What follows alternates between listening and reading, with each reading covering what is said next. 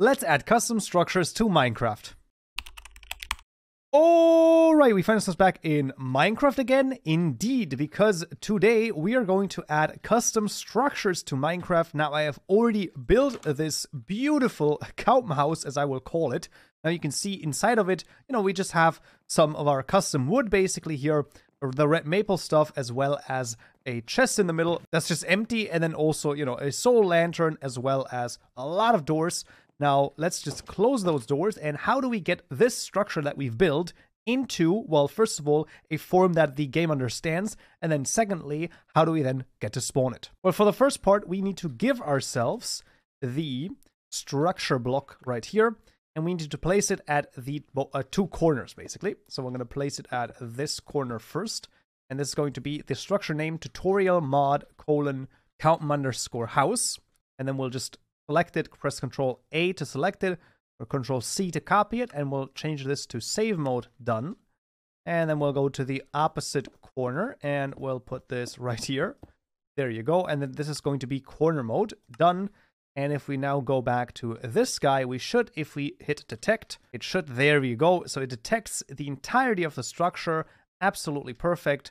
What we can then do is we can hit save, and you can see it is now saved as tutorial mod Kaupen House, and we can proceed into IntelliJ. Now inside of IntelliJ, we want to go to the run folder inside of the saves folder, and then whatever your world was where you had this, so this was the structures world, in the generated folder, you should have an NBT file. So what you can do is you're going to basically select the structures folder over here, press Control C to copy it, and then go all the way to resources data tutorial mod and paste it in right here. There we go. Now our structure as an NBT has been added, and we could now spawn it via a command or via the structure block. Now the great thing is that the entire structure can be added with JSON files only.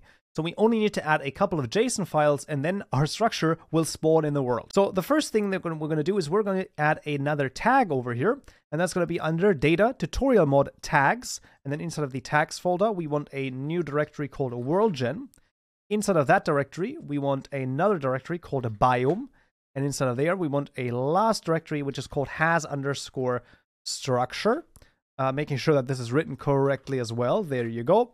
And then we can basically start copying over the JSON files.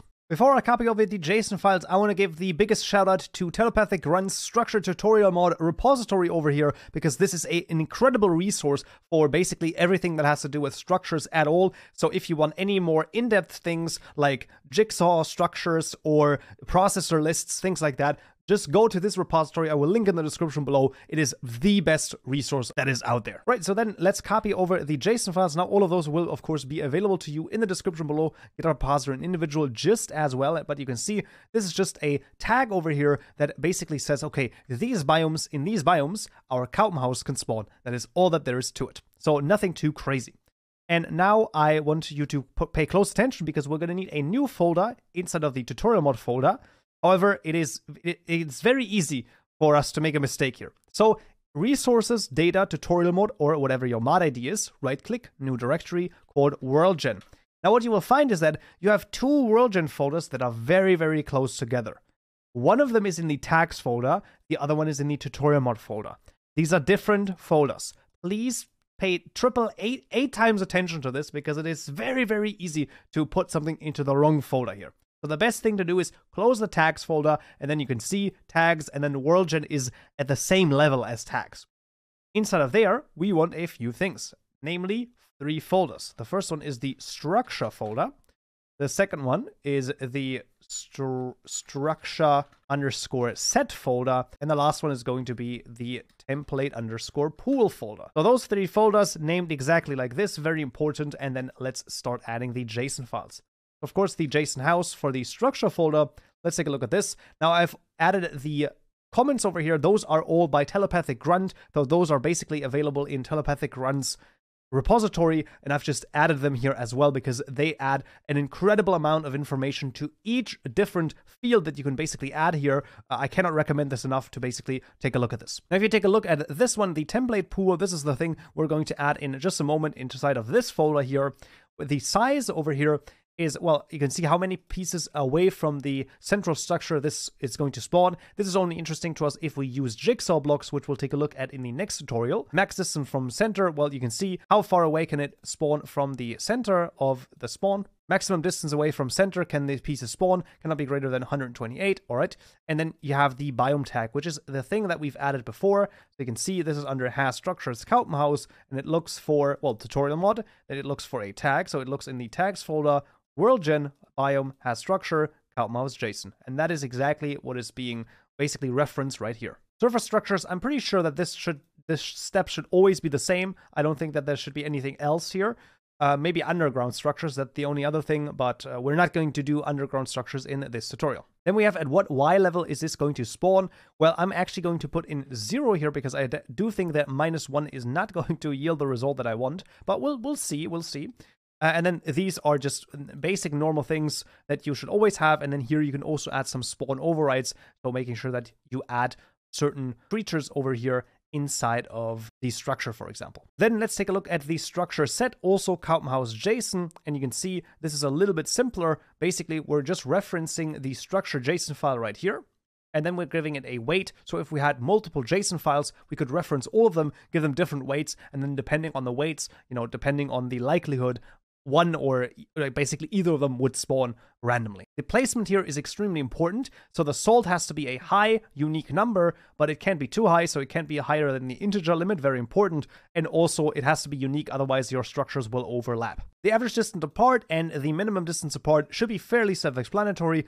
In the end, I really recommend to ramp those numbers up if you have an actual mod with structures in it, because 20 and 6 is way too little. Like it's it is definitely not enough but that is going to be okay.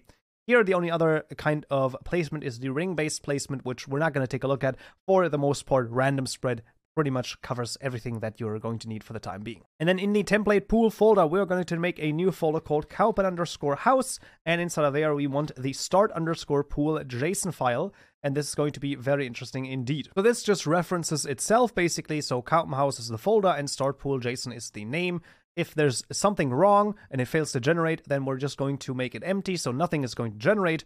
What is this? The location here is tutorial mod, so it's going to look in the data folder, tutorial mod, under the structures folder, and then looking for a Kaupenhaus NBT, and this is what it will spawn. The processor JSON list, as I've said, take a look at telepathic grunts uh, tutorial repo in order to learn more about this. is very interesting as well. And then these two things, uh, I pretty much just keep them. Now we could, for example, do something like terrain matching just to see like what would happen. Uh, you know, you can see best for roads is rigid, and then if the house, you know, would deform things, then you can also do terrain matching. Uh, highly recommended just playing around with this as well, as it definitely does make a lot of sense. As you can see, actually, these are all of the JSON files that we need. So four JSON files and one NBT file, and our custom structure will be added to new worlds. So let's go into the game, make a new world, and see if our structure spawns. Alright, so we find ourselves in Minecraft, and let's just fly around and see. There we go, we already got the first Kaupenhaus spawning in the wild, and as you can see, there we go. So actually, this is very interesting. As you can see, it basically adapted to the terrain. So this is basically what happens if it adapts to the terrain. Uh, it does have a quite of a cool like idea. Now, um, might not be the best uh, way for this particular structure. However, it does look kind of cool that it sort of adapts to the terrain. So in this case, uh, apparently it uh, doesn't adapt the terrain to itself. It adapts itself to the terrain, which is very interesting. What is it actually called? Oh, it's called terrain matching. I believe there is also another uh, projection over here that's called terrain adaptation or terrain adapting, something like that, where uh, it adapts the terrain to itself instead of the other way around. However, I have actually not seen this before, so that is kind of hilarious to be honest with you. Um, but you will find if I'm just going to fly away in a little bit, I should be able to find another one of those structures fairly quickly again because as I've said, the spacing and the distance apart is actually not that crazy. Uh, so we should be able to find another one. Let's see if we just get unlucky, incredibly unlucky over here. And then we have another one. So that actually took way longer than I expected but fair enough. Oh, that's a geode. Okay, fair enough. Um, so there we go. There's another one, and it is also adapted to the terrain, but pretty pretty cool actually. Like I I kind of like the effect. I um you know I'm not sure if I like 100% love it, but it's pretty cool. But that is pretty much how you can add a custom structure to Minecraft. For the sake of argument, I'm gonna put it back to rigid over here. I think that that's a little bit better. Anyway, thank you for watching. So yeah,